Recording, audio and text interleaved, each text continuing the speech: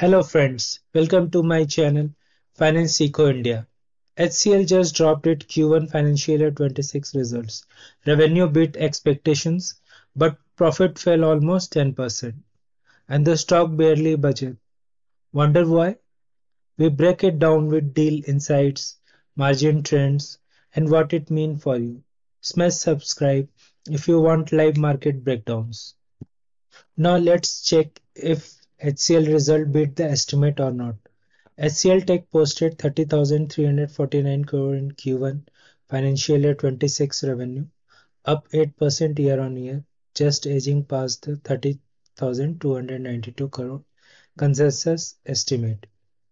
Net profit came in at 3,843 crore, down approximately 10% year-on-year, missing the rupees 4,224 crore estimates reflecting margin pressures. Interim dividend of rupees 12 per share was declared, reinforcing HCL's shareholder-friendly approach. So what does this mean? A revenue beat, but profit miss signals pressure from investment and softer utilizations. The dividend demonstrate management confidence despite earning dip. So HCL Tech's Q1 revenue jumped 8.16% year-on-year to rupees 30,349 crore, slightly surpassing the consensus. This growth was led by strong performance in Europe and rest of the world markets, highlighting recovery in these geographies. However, the growth wasn't across the board. Four of its seven industry segments actually saw decline, including manufacturing, life science, healthcare, and public services. In essence, global diversification helped the top line beat expectations, but core segments were under pressure, signaling that growth remains uneven and demand recovery is still patchy. So talking about the HCL's net profit, it net profit fell nearly by 10% from the previous year. Why it dropped? There are many reasons. One is the seasonal softness and utilization dip. The June quarter typically brings lower utilization level, reducing efficiency. Higher investment. So HCL increases spending on Gen AI and go-to-market initiative, impacting mar margins. So these are the new technologies. So there are uh, initial investment which HCL has to do, which led to the margin pressure pricing pressure and FX headwinds, currency volatility, and competitive pricing further skews margin. So management narrowed financial year 26 constant currency revenue growth to 3 to 5% from 2 to 5% and set EBITDA margin guidance at 17 to 80%, down from the previous year 18 to 90% range. While revenue showed resilience, Profit construction reflect a strategic choice. Investing in future growth during a seasonally weak quarter, margin stability and execution will be the key catalyst to watch moving forward. Now let's talk about the HCL deal wins. So HCL Tech secured around 1.81 billion in new deal wins during Q1 financial year 26 down from the $3 billion in Q4, but still solid in a typical weak quarter. What behind the slowdown?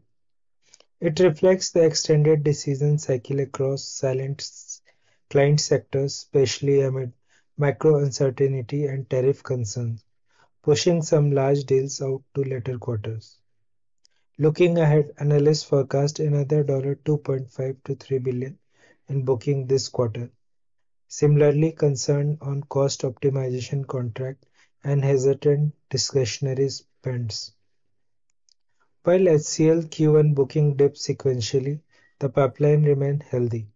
The focus now shifts to how quickly new deal convert and whether the demand environment start to stabilize after this seasonal dip.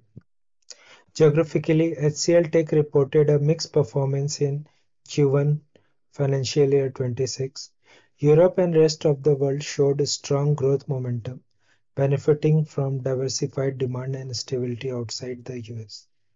The US market remained soft under pressure from tariff uncertainty and cautious corporate IT budgets. Asia continued to show weakness with slow deal wins and delayed client decision. By vertical performance varied sharply. Leading sectors, BFSI and high-tech delivered solid results due to sustained digital transformation and cloud projects, but manufacturing and retail lagged, reflecting slower client CapEx and reduced discretionary IT spends. Strategically, HCL is doubling down on GenAI, digital engineering, and E&RD services, aiming to pivot client toward high-growth, value-added offerings. This shift reflects a clear intent to offset volatility in trading sector and align with future tech trends. Now let's talk about what analysts are saying. Guidance is narrowed to 3 to 5% growth, margin to 17 to 18%. Stock closed flat, margin digests the rebound in revenue, but cautious on margins. Here's the big picture. HCLTech reported a revenue beat but tempered investor expectations by narrowing financial year 26 growth guidance to 3 to 5%, with projected margin of 17 to 18%, down from earlier levels. The stock reaction was muted, closing flat, reflecting market cautious. Investors are still weighing the positive in revenue against the conservative margin outlook. So solid top-line execution is now balanced by prudent guidance. Analysts expect steady deal flow and GenAI-driven services, but margins will be the key to watch. Now let's talk about the risks and the headwinds. So tariff turmoil in the US is delaying client IT projects as companies push back discretionary spend until trade clarity returns. This slowdown is particularly pronounced in H2CY analysis of global supply chain. At the same time, key industry verticals like manufacturing and healthcare have reported soft revenue growth, reflecting cautious corporate budget and subdued demand. And it's not just the top line. Margin pressure are persisting triggered by typical seasonal utilization dip in Q1. Increased investment in GenAI and currency headwinds from the depreciating rupee and contracting US dollar. In summary, HCLTech's Q1 performance show external macro factors, tariff, disrupting deal timelines, weak industrial spending, dragging growth and margin pressure from strategic investment, and underutilization. The key question now: Will Q2 show a rebound as these headwinds ease? So let's discuss now what are the good signs which HCL is showing. So there are also some good factors. So HCLTech's Q1 setup is showing some clear upside potential. Strong GenAI acceleration. HCL is working on 200 plus GenAI POCs, with many already scaling to production, signaling climb to AI-driven digital transformation projects. Budget recovery in BFSI and high-tech. This core vertical led the charge with recovery momentum and renewed discretionary spend, fueling growth in the quarter. Stabilizing margins. While Q1 saw typical softness, management expects margin to firm up in H2, especially as session pressure, seasonal pressure fades and GenAI investments start yielding returns.